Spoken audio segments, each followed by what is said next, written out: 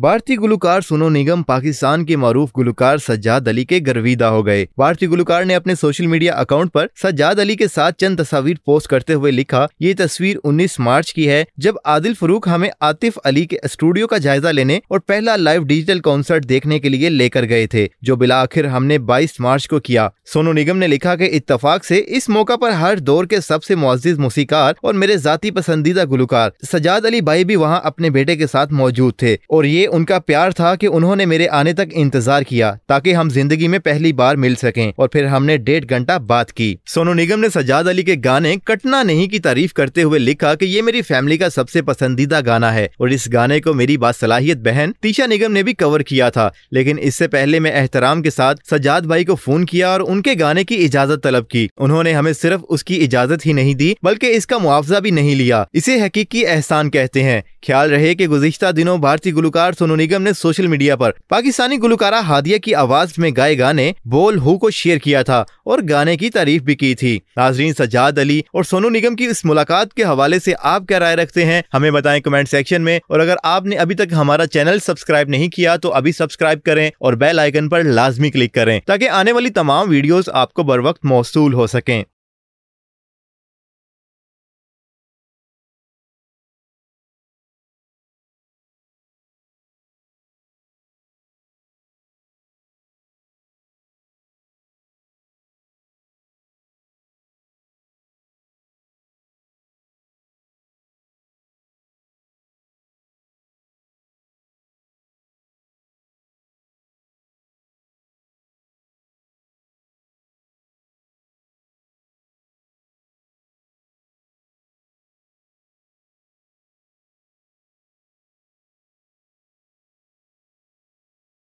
भारतीय गुलकार सोनू निगम पाकिस्तान के मरूफ गुलकार सज्जाद अली के गर्विदा हो गए। भारतीय गुलकार ने अपने सोशल मीडिया अकाउंट पर सज्जाद अली के साथ चंद तस्वीर पोस्ट करते हुए लिखा, ये तस्वीर 19 मार्च की है, जब आदिल फरूक हमें आतिफ अली के स्टूडियो का जायजा लेने और पहला लाइव डिजिटल कॉन्सर्ट देखने के लिए लेकर गए थे, जो बिला आखिर हमने बाईस मार्च को किया। सोनू निगम ने लिखा की इतफाक ऐसी इस मौका आरोप हर दौर के सबसे मुआजिज मौसीकार और मेरे जाती पसंदीदा गुलकार सजाद अली भाई भी वहाँ अपने बेटे के साथ मौजूद थे और ये उनका प्यार था कि उन्होंने मेरे आने तक इंतज़ार किया, ताकि हम ज़िंदगी में पहली बार मिल सकें, और फिर हमने डेढ़ घंटा बात की। सोनू निगम ने सजाद अली के गाने कटना नहीं की तारीफ़ करते हुए लिखा कि ये मेरी फैमिली का सबसे पसंदीदा गाना है, और इस गाने को मेरी बासलाहियत बहन तीशा निगम ने भी कवर किया था। लेकिन इससे पहले मैं एहतराम के साथ सजाद भाई को फ़ोन किया और उनके गाने की इजाज़त तलब की। उन्होंने हमें सिर्फ़ उसकी इजाज़त ही नहीं दी, बल्कि इसका मुआवजा भी नहीं लिया। इसे हकीकी एहसान कहते हैं। ख्याल रहे कि गुजश्ता दिनों भारतीय गुलकार सोनू निगम ने सोशल मीडिया पर पाकिस्तानी गुलकारा हादिया की आवाज़ में गाए गाने बोल हु को शेयर किया था